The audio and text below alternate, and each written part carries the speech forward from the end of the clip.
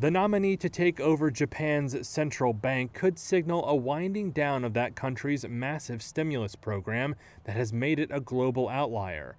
The government of Prime Minister Fumio Kishida on Tuesday chose an academic with an MIT PhD, Kazuo Ueda.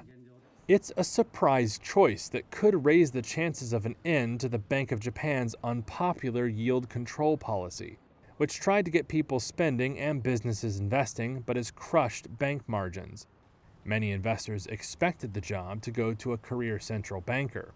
Markets have closely watched for Kishida's choice for clues as to when the curve policy could end, and for the end of the decade long experiment under incumbent Haruhiko Kuroda, where monetary policy tried to shock the nation out of its sticky deflationary mindset.